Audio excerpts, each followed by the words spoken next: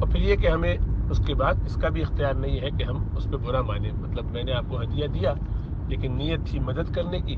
آپ نے قبول نہیں کیا، یہ جان کے کہ میری نیت یہ ہے۔ تو اب مجھے اختیار نہیں ہے کہ میں اس پر برا مانوں۔ پھر میں ظلم کر رہا ہوں، زیادتی کر رہا ہوں۔ یہ تو آپ کا اختیار تھا کہ آپ اسے قبول کریں، نہ کریں۔ اور ہدیہ خالصتاً اللہ کی رضا کے لیے دے رہا ہوں، اس کو آپ قبول نہ کریں۔